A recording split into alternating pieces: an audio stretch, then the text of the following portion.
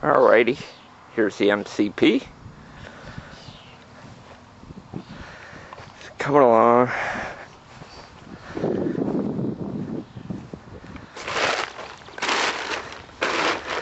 Um, All the inside. Starting my cabinet.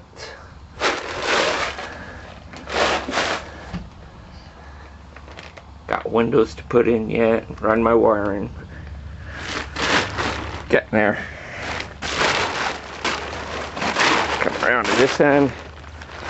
And this is where my cabinets are going to be. This is my countertop for cooking.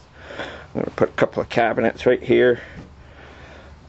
Some 12 volt outlets. My battery will be on the front. All this will be storage for food, my cooler. My head will be up at that end and feet down here.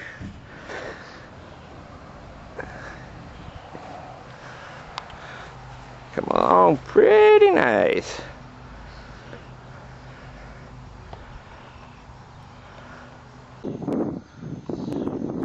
Well, started my cabinets.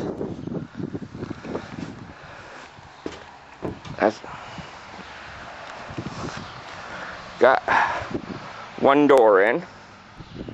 Still have to adjust it a little bit, but it it fits. So got quite a bit done today.